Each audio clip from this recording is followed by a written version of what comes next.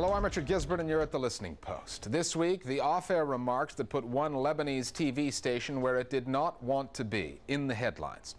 The Czech closed circuit TV camera that was open to internet hackers. How a giant puppet and three helicopters became a viral advertising legend. And the two man SWAT team that uses chopsticks to catch its prey. Welcome back to the Listening Post. Here's a good way to lose your job as a news anchor. When you think you're off the air, trust the sound man to turn your microphone off. Then say what you really think about politicians. That's what a newsreader on a Lebanese channel did recently during coverage of the assassination of a parliamentarian there.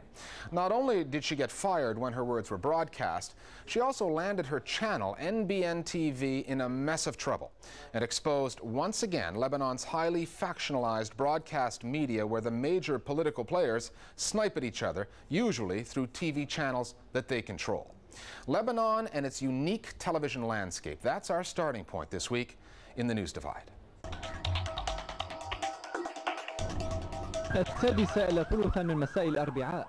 It's during the coverage of stories like the murder of Walid Eido in a car bombing in West Beirut that Lebanon's television channels show their true political colors.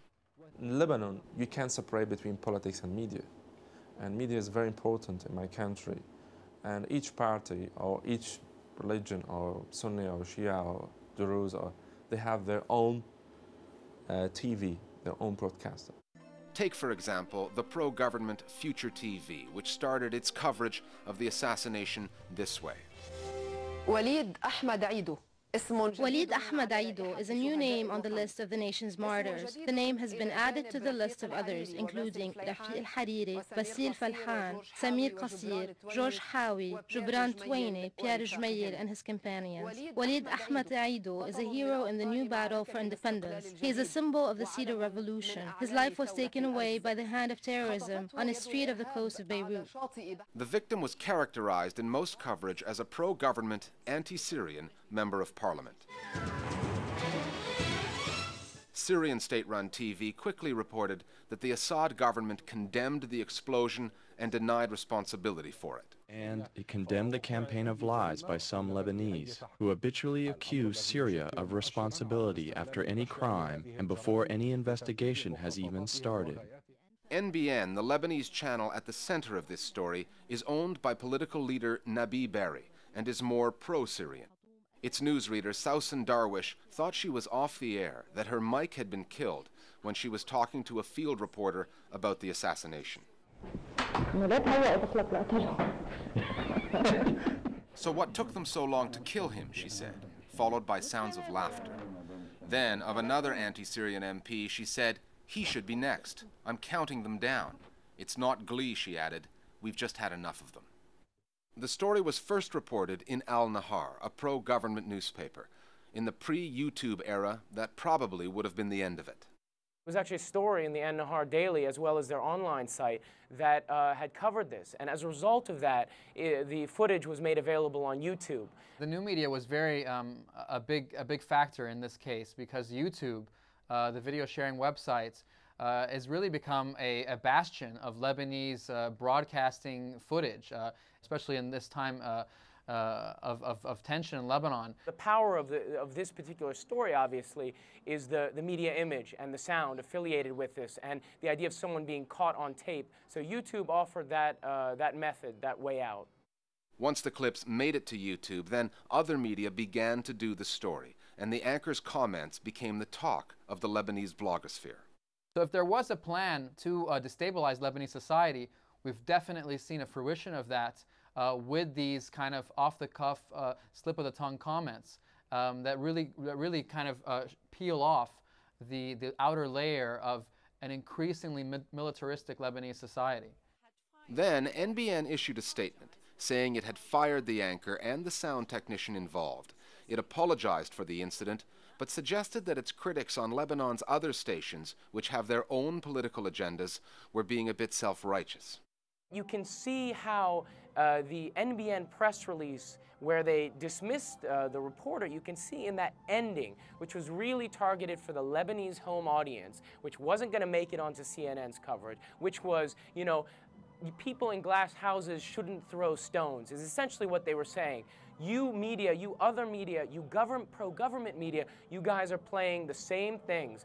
On live television, a news anchor gloats about a politician's death and wishes more of the victim's colleagues face the same fate.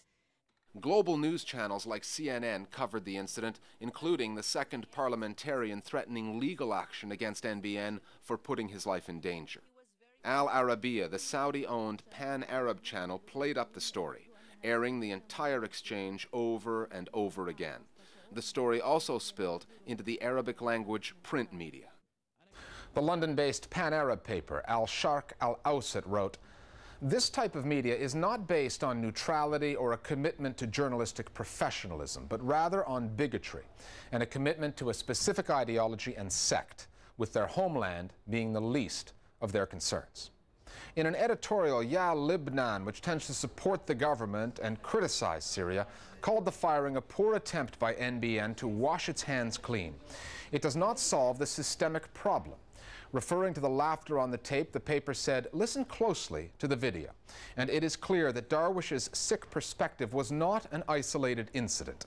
These provocations could very easily push Lebanon into a civil war. I think the situation is a result of the ethnic tensions. You can find it in all uh, the fields, whatever in the media or with the ordinary people, normal people in the streets. And this ethnic tension has existed even before, but now is escalated by the media and by the assassinations. To outsiders, the comments on NBN were shocking and hateful. But to those who know the country, to savvy Lebanese consumers of media, this incident simply put out into the open what they already knew. Lebanon is a country with a unique ethnic makeup and media that mirrors its factionalized society.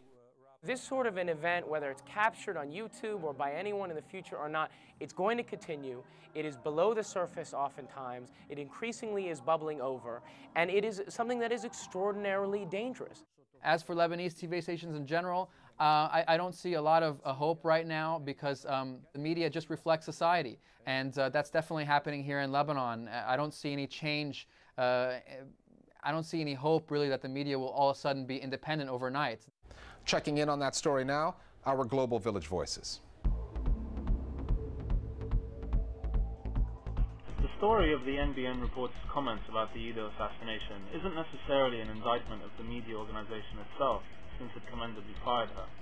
Rather, it's an example of the Lebanese media in general being part and parcel of the sectarian and political strife afflicting the country, since news organizations are often owned by or allied to the various factions. Got a smart take on global media? Want to weigh in as one of our Global Village voices? Then email us at listeningpost at aljazeera.net. If you have the technology, webcam, video, or even camera phone, we'll provide you with the platform. Time now for Listening Post News Bites. In Iraq, the body of kidnapped newspaper editor Filah Mishtab was found in northeast Baghdad four days after his abduction. Mr. Mishtab was seized by armed gunmen as he drove to work.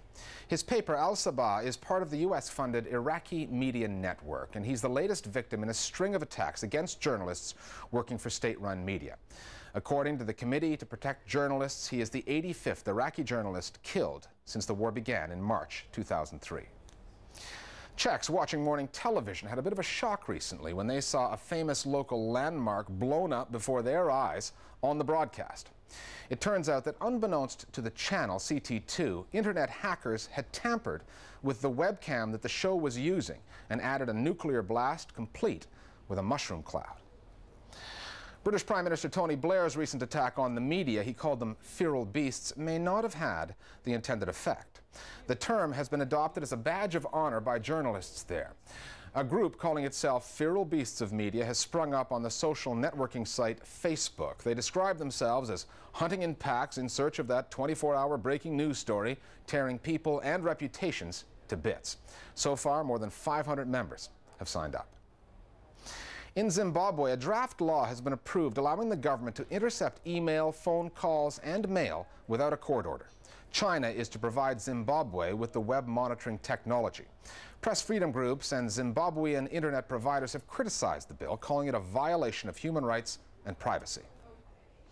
A new cartoon which portrays the Bush administration as a gang of unruly children has launched on the U.S. cable network Comedy Central.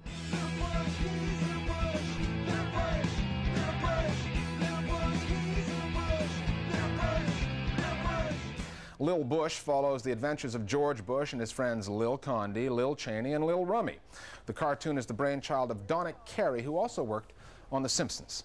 The Comedy Central Network is the home of Jon Stewart's Daily Show. That's the fake news program that routinely targets the U.S. administration and the neocon movement. Here at the Listening Post, we often issue health warnings before we show you clips of state-run television. Well, this week, our clip is a health warning, neatly put together by Thai State Television. คุณทรงเกียรติรับยาค่ะ คุณทรงเกียรติใช่ไหมคะ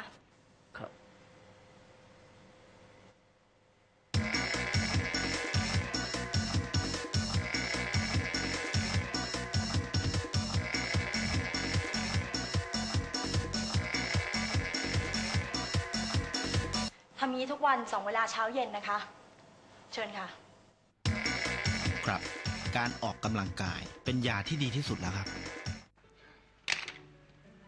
อยู่เข้าใจไหมว่าไออะอยากได้สีแดงแบบธรรมชาติ เล็กเชอร์รี่อะอยู่เข้าใจไหมสีแดง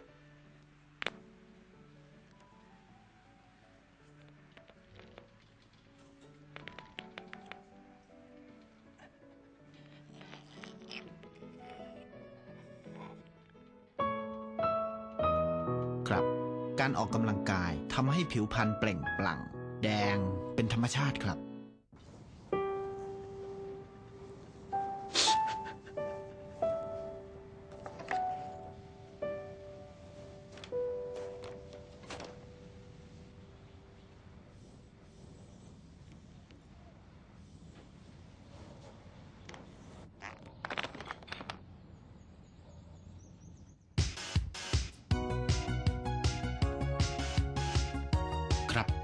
การออกกำลังกายทำให้จิตใจสดชื่นครับ